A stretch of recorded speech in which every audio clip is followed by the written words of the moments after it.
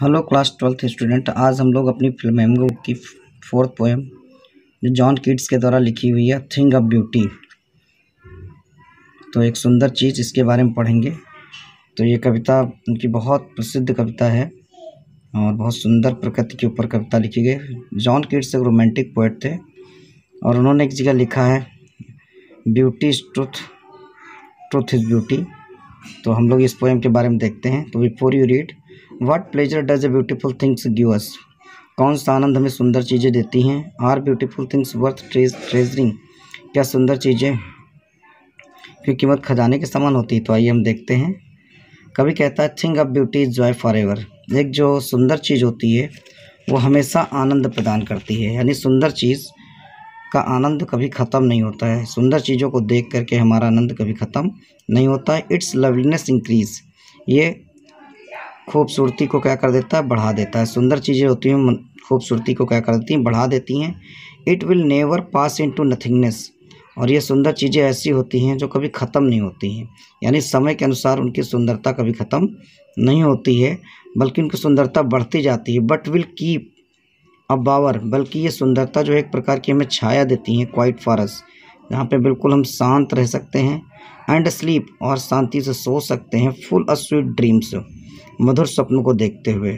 सुंदर चीज़ हमें एक ऐसी शांति प्रदान करती है जहाँ पर हम स्वप्नों के साथ आराम से सो सकते हैं एंड हेल्थ और हम स्वास्थ्य प्राप्त कर सकते हैं एंड क्वाइट ब्रीथिंग और आराम से सांस ले सकते हैं।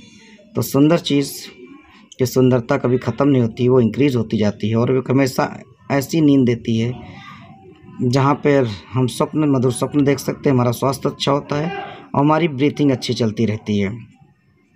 यानी जीवन अच्छा चलता रहता है। कभी कहता है therefore on every morrow we are reading a flowery band to bind dust to earth आगे कभी कहता है, इससे यही कारण है कि हम हर सुबह मॉर मतलब morning we are wreathing are we wreathing हम लोग बुनते रहते हैं अ फ्लावरी बैंड एक फूलों की माला टू बाइंड टू अर्थ जिससे कि हमें अपने आप को इस पृथ्वी से बांधे रखें।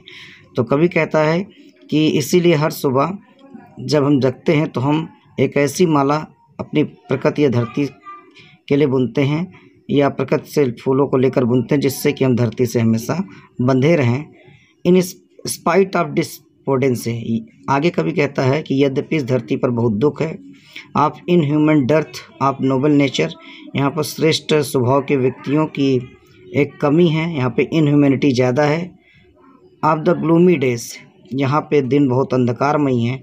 आप ऑल द अनहेल्थी और यहाँ पर हर प्रकार का वो अस्वस्थ वातावरण है। And over dark and ways made for our searching और जब हम कोई चीज़ नहीं खोजते हैं तो कभी कभी हम गलत तरीके डार्क एंड वेज या बुरे तरीके भी अपना लेते हैं।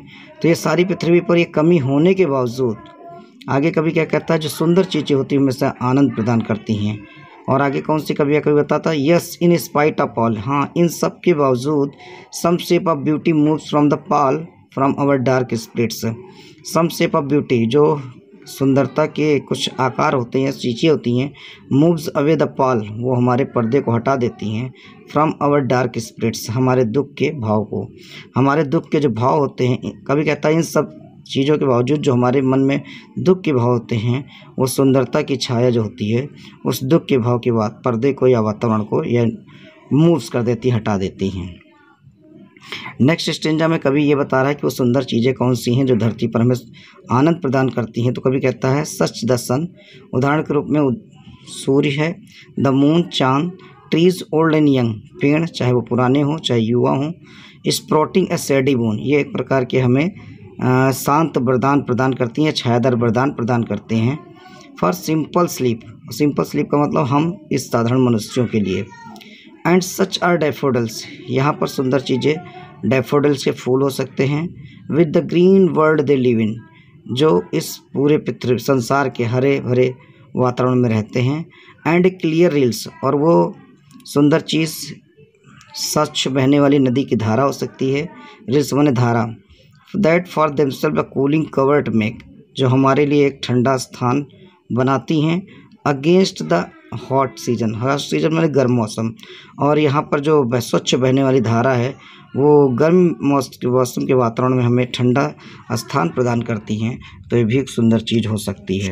तो सुंदर चीज़ जो होती है, वो हमेशा आनंद देती है। और नेक्स्ट आगे कभी कहता है the mid forest brake mid माने बीच में फॉरेस्ट में जंगल के ब्रेक ब्रेक माने एक प्रकार की सुंदर पत्तियों की जो पौधे उगते हैं तो कभी कहता है, जंगलों के बीच में जो सुंदर चौड़ी पत्तियों वाले जो पत्ते हैं, वो भी सुंदरता प्रदान करते हैं।